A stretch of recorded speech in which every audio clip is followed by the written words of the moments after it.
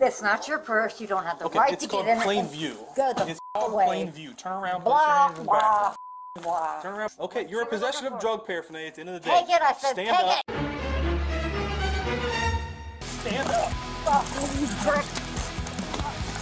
Ow, ow, that's my dick. Can be a risky endeavor to call the cops on someone when you yourself are breaking the law, which is what I'm assuming is going to go down in today's video called Trying to Get the Dad Arrested Totally Backfires from Police Insiders. But it's just an assumption because, as you know, this is a blind reaction. So let's get started. On March 24, 2023, officers were dispatched in reference to a domestic violence case. Well, he backed far away after knocking on the door. Can you put the dog in a room for me? I will. Can you give me Come on, buddy. Go ahead and throw the dog in a room for me. All right. Who called? Me. You did? Yeah, sure did. Okay, first of all, let's talk about how are the cops in her house right now. Remember, when you call 911, you are inviting them inside your house. No warrant, no probable cause, no exigent circumstances. They are in your house based on consent. And so if something is happening out in the open, you brought the cops there. Let's see what happens. The female who called the police and answered the door stated that she had a verbal dispute with her father and that she just wants her parents to listen to her and take responsibility for what happened in her childhood. Oh. She also advised that her father threatened her. What did Right he, behind that chair. When- F- him. when did he threaten to punch you? Want to treat me the way he treated me? Hey. I, mm, Are you talking to me or are you talking to them? no, I'm not talking. You know, I'm talking to her, making faces What at I'm me. saying though is you need to be talking to me. I have never once called the cops on someone before, and this is the first time, and he deserved it. Okay. So take me through what's going on today. Another officer arrived on the scene.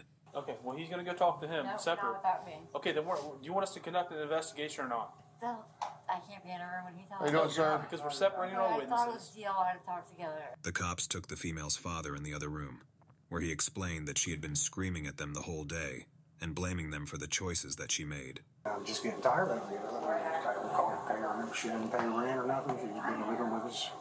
I told her this morning she got So it's super normal for cops to separate people in order to interview them because look, uh, there's two sides to every story, or maybe three, right? You um, and they've got to see what each person's going to say, independent of the other. So they're doing it the right way right now. The officer explains to her father that in order to make his daughter leave their house, he needs to file for a formal eviction at the municipal courthouse.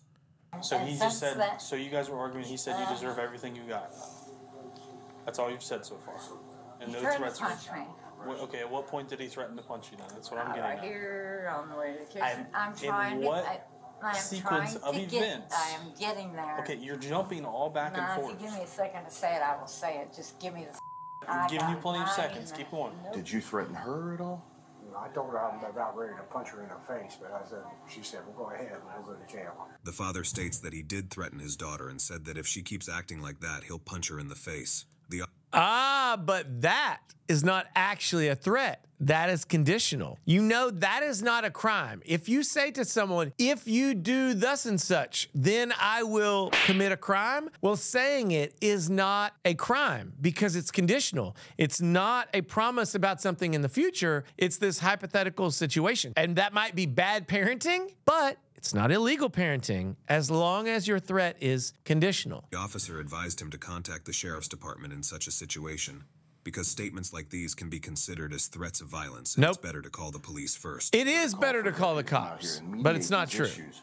If you start feeling at that level, we'll walk away. You know, um, but it sounds to me like this is a, a toxic situation here that's not going to get better until you guys decide to to do something. Okay. Soon, one of the officers found a marijuana pipe in her bag. This is when things started escalating. You have I'm medical marijuana. Okay, so this is interesting. Now, if they found the marijuana pipe out in the open, I would say, okay, it's in plain view. But what were they doing in her bag and what kind of bag was it? And did she give them permission to get into it? This is, uh, we don't know yet. No, huh? Do you have a medical marijuana I'm- I license? pay fifty dollars more so that I can have it. So you don't. Go. That's not your purse. You don't have the Okay, right to get in plain view. Go the way. Plain view. Turn around. Put your Blah hands in your back. blah blah. Turn around. Put your hands behind your back. I was trying to. Turn around. Put your the hands behind pot. your Okay, so he's saying that the answer to my question is that the bag was not sealed and he could actually just see it. Well, now he's going to arrest her for possession of paraphernalia. And she just took the bag and threw it across the room. And he's now told her twice that he's placing her under arrest. And so far, she is not participating in that. Let's see what happens. Of drug paraphernalia at the end of the day. Take it, I said, Stand take up. it. Stand up. Oh, she tried to kick him. Oh, ow, ow, that's my kidney. I mean, that's hand. Stop that's a resisting. misdemeanor Give me assault your right hand there. Stop resisting. Trying to get it out from Okay. Give me your hand stop resisting. If you if you you let me do resist. Give me your hand and if you stop resist, you're gonna get tased. Oh, Conversation. Simple. He started threatening to punch me, and I thought I had to call you guys for that. Okay. Is that a problem? While searching her bag, officers found a number of intoxicants. Can I ask you a question? It's a crime. Why, why did you kick me?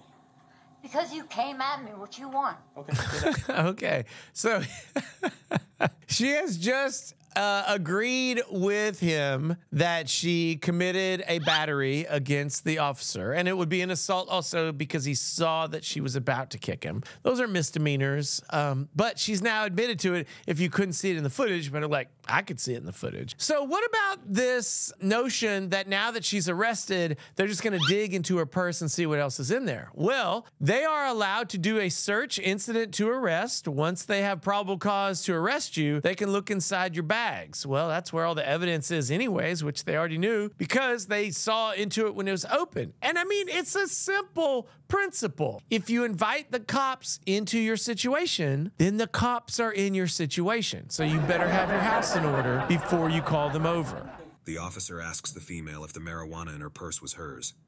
She denies it and says that she hasn't been consuming any illegal substances since a long time. Sit I'm down. going to, sir, right on my butt, Sit- right there. No, you're gonna sit Okay. right on the couch. sir. You don't make those decisions. Big cock. Hey, no. When's the last time you used any illegal substances? I have besides never the- used one, so suck my.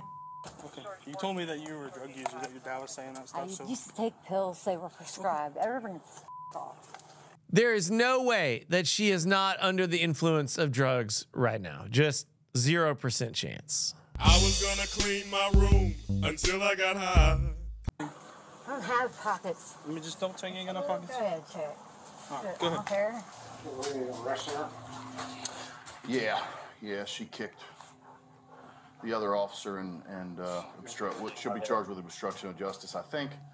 Uh, she may be al- also be charged with assault on a police officer. You asked, why are you taking me over? I am First of all, we have to two address the paraphernalia. Second of all, we have to address the fact that I told you you were going to be placed under an arrest for I'm just obstruction if you supposed to continue. What's that? I was trying to get them out of my mouth. That's all. I just can't. Meanwhile, the other officer heard something falling in one of the rooms and became suspicious. It happened back there. Something fell down back there. Probably Christine in the bathroom. What is going Who's on? Christine? A friend of Janet's. Oh, okay. What's Christine's last name? I don't know. Is she allowed to be here? Yeah, It's kind of odd that she stayed in the bathroom the whole time. She have warrants? I don't know. Hey, Christine, I need you to come out here for a sec.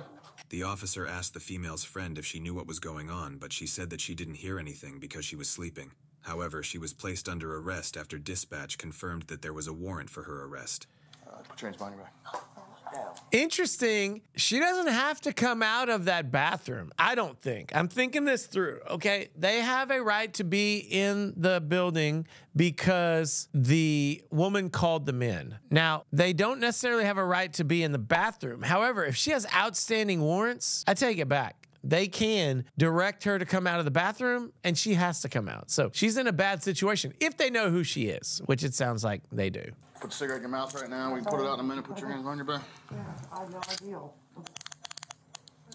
Can you uh, take me through what happened today? I called the police because my father had threatened to hit me several times, and I have facial reconstructive surgery, so I said that it won't go well.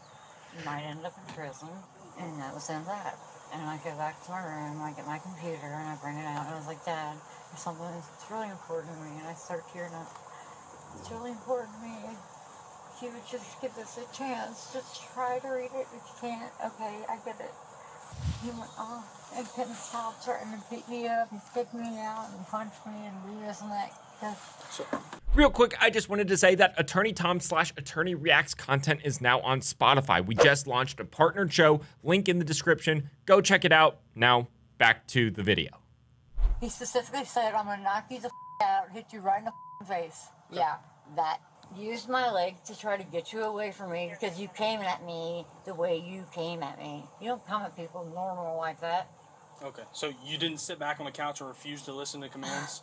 I'm sure I did. Okay. I and did I warn you that Okay, well, that's an admission. But what I'm interested in is whether or not they're going to arrest the dad because his version of what happened was a very self serving statement, which is this conditional threat. I told her if she kept going on like this, I would hit her. She's not saying it went down like that. She's saying that the dad just straight up threatened her. Well, look, it's not like the cops have to pick one or the other, they can arrest everyone. And honestly, in this situation, maybe they should. you would be placed under arrest You for probably obstructing if did. You did? Okay. So then when I grabbed your wrist to put your hands behind your back like I requested, you Look, decided I to don't kick remember it. It was. I thought that was before that. Okay. All right. Is there anything else you feel like you need to add to this? That I need different officers, to, uh, police officers, to talk to me. I do not want to see these two gentlemen again. I mean, we're gonna go to the other side of the car, okay? And you don't have any uh, illegal drugs on you that they're gonna No. charge you for when we go to jail, right? Okay. Absolutely not. I feel like stupid. Yeah, it's a little bit of a hop there, but. I'm gonna put this seatbelt on you, okay? Because we're gonna be transporting here. Are my parents being arrested? I haven't got the chance to speak with them. And they're not. You should have away with it. Well, I would've All already right, they're putting the evidence away right now. it. Paraphernalia. You said you did. I would have if if I had not been kicked in the chest and everything like that. So if you just give me a second, if you just give me a second, I'll complete the investigation. Okay? She started writing a book about things that have happened in her life, and she blames everything on us, everything that's happened to her, even though it was her choices.